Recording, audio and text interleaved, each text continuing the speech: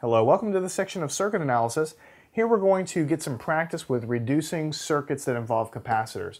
What we're trying to do is find out what would the equivalent capacitance be looking in from this circuit and what would the equivalent initial condition voltage be.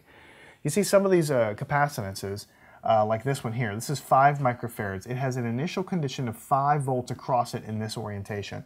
This is 4 microfarads. It has 30 volts across it, but it's flipped around the other way and so on. So this guy's 30 microfarads, 16 microfarads, 48 microfarads. We have a 3 microfarad capacitor that's diagonal in here and a 10 microfarad here.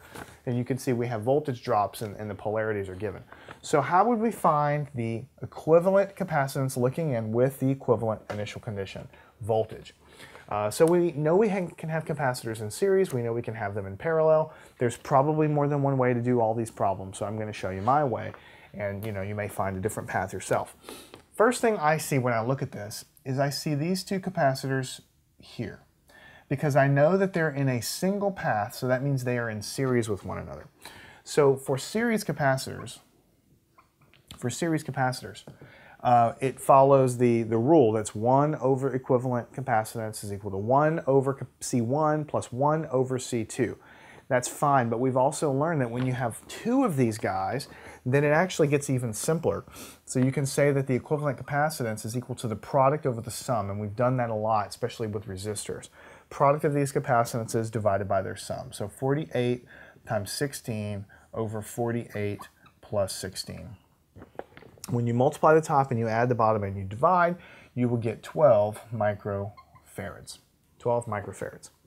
So I know it's a pain, but really it is to your best, in your best interest to redraw the circuit every time you do this um, because it's just going to get ugly if, if you don't. So here is a capacitor, and you don't have to label everything on the left-hand side every single time, but you really need to try to, um, to do that because it'll take a little bit of time, but then if you get the correct answer the first time, then it's not a big deal.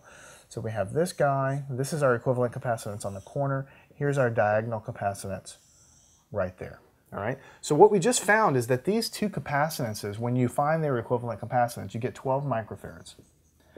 And what do you think the initial voltage is going to be? Well, here we have 20 going negative to positive. Here we had zero. So really it's the same exact voltage because you're basically adding zero volts to it. So we use the same polarity as this because here we're just adding nothing to it. So this becomes negative positive, and I'll put 20 volts in red so you know that this is uh, the thing here. Let me go ahead and spend just a few seconds um, with the rest of the circuit. This is 30 microfarads. This is 3 microfarads.